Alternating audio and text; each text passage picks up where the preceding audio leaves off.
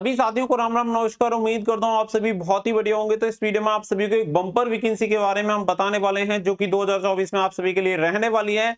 जिसके लिए all over India से कोई भी male and female candidate apply कर सकता है क्वालिफिकेशन भी tenth pass twelfth pass and graduate pass candidate के लिए रहने वाली है। अगर हम बात करें ये वैकेंसी आपकी ई e यानी कि एकलव्य मॉडल रेजिडेंशियल स्कूल में आपकी जो वैकेंसीज हैं वो यहाँ पे रहने वाली हैं। तो पूरी इंफॉर्मेशन इस वीडियो में मैं आप सभी को प्रोवाइड कराने वाला हूँ कि कौन कौन सी वैकेंसी रहने वाली है क्वालिफिकेशन क्या रहेगी एज क्राइटेरिया क्या रहेगा सिलेबस क्या रहेगा ईच एंड एवरीथिंग इस वीडियो में आप सभी को क्लियर होने वाला है। अगर आप एक अच्छी वैकेंसी का वेट कर रहे हैं तो इस वीडियो को लास्ट तक ध्यान से ज़रूर देखें। और वीडियो पसंद आए प्लीज़ वीडियो को लाइक शेयर करके चैनल को सब्सक्राइब कर लें और वेल आइकन पे प्रेस कर लें ताकि फ्यूचर में आने वाली हर एक अपडेट का नोटिफिकेशन आपको सबसे पहले मिलता रहे। आगे बढ़ते हैं और पूरी जानकारी आप सभी को देते हैं। तो ये जो वैकेंसीज रहने वाली हैं, अड़तीस आपकी वैकेंसी रहने वाली है।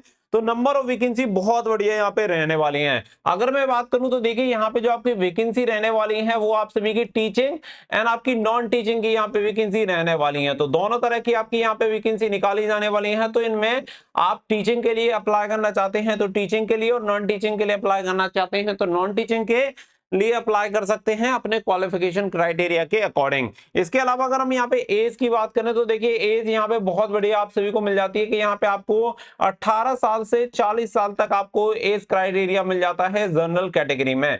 अगर आप ओबीसी कैटेगरी से आते हैं तो यहाँ पे 43 साल तक और अगर आप एस सी कैटेगरी में आते हैं तो 45 साल तक आप इन वैकेंसी के लिए अप्लाई कर सकते हैं। लेकिन यहाँ पे जो आपका क्राइटेरिया होता है एज क्राइटेरिया वो पोस्ट के अकॉर्डिंग होता है। किसी पोस्ट के लिए आपको अट्ठारह से पैंतीस साल, किसी के लिए अट्ठारह से सत्ताईस साल, किसी के लिए अट्ठारह से पच्चीस साल, या किसी के लिए 18 से 40 साल, इस तरीके से आपको अलग अलग एज क्राइटेरिया एंड क्वालिफिकेशन देखने के लिए मिलती है। अगर हम यहाँ पे बात करें तो ये आपकी पोजीशन है, यानी कि ये आपकी पोस्ट यहाँ पे आपको इस तरीके की देखने के लिए मिलेंगी, जिसमें आप principal vice principal post graduate teacher PGT PGT computer science और यहाँ पे देख सकते हैं TGT art teacher music teacher physical education teacher librarian counsellor staff nurse accountant senior catering assistant gardener cook secretariat assistant junior driver electrician plumber math helper चौकीदार hostel warden lab attendant sweeper जैसी यहाँ पे vacancies आपको देखने के लिए मिल जाती हैं। तो अलग अलग पोस्ट पे ये वैकेंसी देखने के लिए मिल जाएँगे। अब यहाँ पे आप अकेले स्वीपर की वैकेंसी देख सकते हैं। 2220 यहाँ पे वैकेंसी रहने वाली है अकेले स्वीपर की। इसके अलावा हॉस्टन वार्डन की काफ़ी बढ़िया वैकेंसी रहेगी, चौदह चौकीदार की भी चौदह पोस्ट यहाँ पे रहने वाली है। लैब अटेंडेंट की सात सौ चालीस आपकी वैकेंसी रहने वाली है। प्लम्बर में चौदह इलेक्ट्रीशियन में चौदह जूनियर ड्राइवर की भी यहाँ पे सात वैकेंसी रहने वाली है। कुक कुक की वैकेंसी 470 आपको मिल जाती है, गार्डनर की आपको 740 वैकेंसी देखने के लिए मिल जाती है तो इस हिसाब से काफ़ी अच्छी वैकेंसी यहाँ पे आपको देखने के लिए मिल जाएँगी, जिनके लिए आप अप्लाई कर सकते हैं। क्योंकि इसके लिए qualification criteria tenth pass, twelfth pass की आपको वैकेंसी, काफ़ी सारी वैकेंसी देखने के लिए मिल जाती है। अब यहाँ पे हम क्वालिफिकेशन की तरफ़ पढ़े तो देखो, यहाँ पे बहुत सारे बच्चे स्वीपर में बहुत सारे बच्चे इंटरेस्टेड होते हैं तो इसके लिए सिंपल आपका टेंथ पास होना चाहिए। अगर आपने टेंथ पास कर रखा है तो आप स्वीपर की वैकेंसी के लिए अप्लाई कर सकते हैं। गार्डनर के लिए अप्लाई करने के लिए यहाँ पे टेंथ पास आप होना चाहिए। अगर आप टेंथ पास हैं तो इसके लिए मेल एंड फीमेल अप्लाई कर सकते हैं। सेम इसी तरीके से चौकीदार के लिए भी टेंथ पास यहाँ पे मांगा जाता है और टेंथ पास कैंडिडेट चौकीदार के लिए अप्लाई कर सकते हैं। मैथ्स हेल्पर की वैकेंसी के लिए भी टेंथ पास कैंडिडेट अप्लाई कर सकते हैं। केवल टेंथ पास यहाँ पे मांगा जाता है। लैब अटेंडेंट के लिए टेंथ पास साथ होने चाहिए। साथ ही में आपके पास सर्टिफिकेट या डिप्लोमा होना चाहिए लेबोरेटरी टेक्निक में तो आप इसके लिए अप्लाई कर सकते हैं। इलेक्ट्रीशियन प्लम्बर के लिए अगर हम बात करें तो यहाँ पे टेंथ पास आप होने चाहिए और आईटीआई का सर्टिफिकेट या पॉलिटेक्निक सर्टिफिकेट आपके पास होना चाहिए, तब जाकर आप इसके लिए अप्लाई कर सकते हैं। ड्राइवर के लिए बात करें तो टेंथ पास कैंडिडेट अप्लाई कर सकते हैं, लेकिन आप सभी के पास हैवी ड्राइविंग लाइसेंस यहाँ पे होना चाहिए। तो आप इसके लिए एलिजिबल रहेंगे। कुक के लिए अगर हम बात करें तो टेंथ पास कैंडिडेट अप्लाई कर सकते हैं मेल एंड फीमेल दोनों की ये वैकेंसी होती है। और सबसे बेस्ट यहाँ पे पोस्ट आपको जूनियर सेक्रेटरी असिस्टेंट की, यानी जीएससी की पोस्ट देखने के लिए मिल जाती है, जिसमें आपकी क्वालिफिकेशन ट्वेल्थ पास रहती है। लेकिन इसमें सिर्फ़ आपसे टाइपिंग मांगी जाती है। अगर आपको टाइपिंग यहाँ पे करनी जो रहती है, वो इंग्लिश की स्पीड पैंतीस वर्ड पर मिनट होनी चाहिए और हिंदी की speed thirty word per minute यहाँ पे स्पीड होनी चाहिए। आप इसके लिए अप्लाई कर सकते हैं। इसके अलावा केटरिंग असिस्टेंट के लिए थ्री ईयर का डिप्लोमा आपके पास केटरिंग में होना चाहिए तो अप्लाई कर सकते हैं। और अकाउंटेंट के लिए आपके पास डिग्री होनी चाहिए। कॉमर्स में कॉमर्स स्ट्रीम में अगर आपने डिग्री ले रखी है, जैसे कि अगर आपने बीकॉम कर रखा है तो आप अकाउंटेंट के लिए अप्लाई कर सकते हैं। फिर यहाँ पे हॉस्टल नर्स की वैकेंसी रहती है, जिसमें बीएससी ऑनर्स आपके पास होना चाहिए। इन नर्सिंग आप सभी ने कर रखा है तो आप इसके लिए एलिजिबल रहेंगे।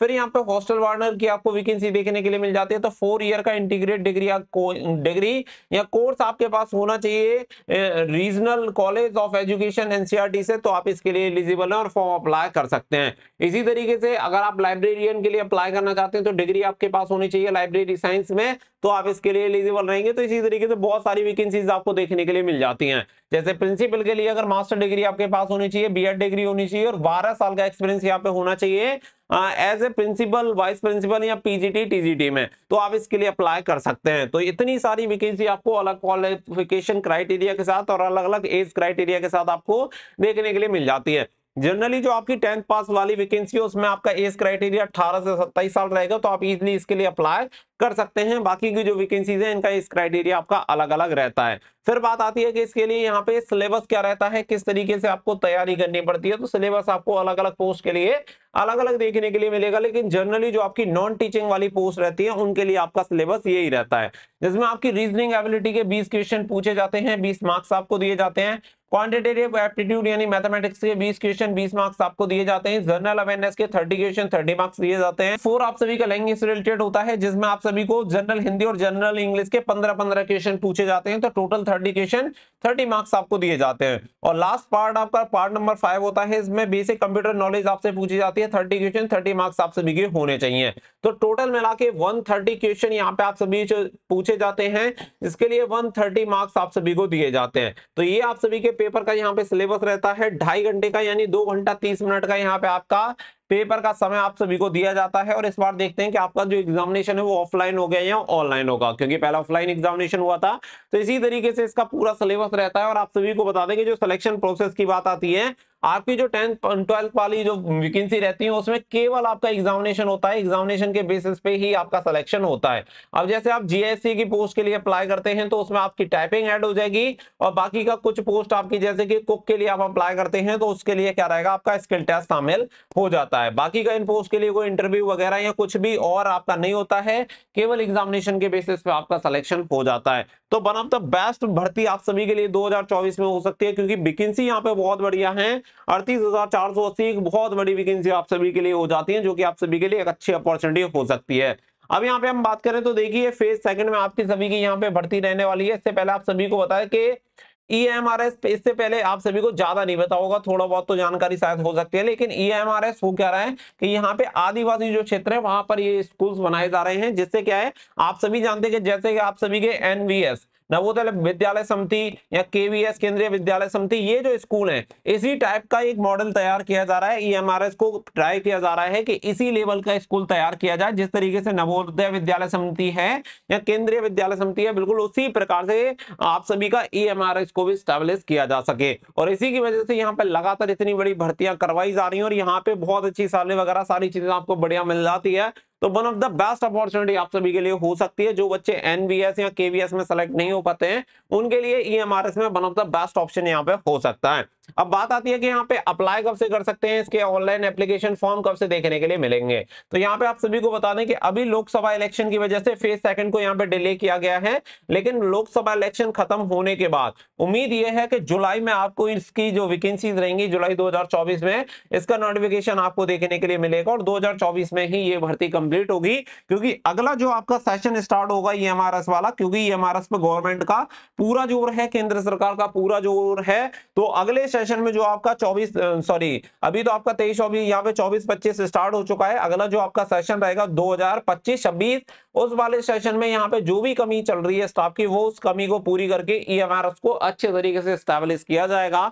तो आप सभी के लिए one of the best opportunity हो सकती है और मैं आप सभी को ज़रूर कहूँगा कि इसमें आपको फॉर्म अप्लाई करना है। आई होप पूरी जानकारी आप सभी को मिल गई होगी। आगे इस रिलेटेड जो भी अपडेट आएँगे, वो रेगुलर आप सभी को प्रोवाइड होती रहेंगी। तो आप कनेक्टेड रहिएगा वीडियो को शेयर कर दीजिएगा। जो भी गवर्नमेंट जॉब की तैयारी कर रहा है, वो इसमें ध्यान रखे और इस पर फोकस रखे ताकि आप सभी का सिलेक्शन एक गवर्नमेंट जॉब में हो पाए। मिलेंगे नेक्स्ट वीडियो में तो वीडियो को लाइक शेयर कर देना। So thank you for watching जय हिंद, जय भारत।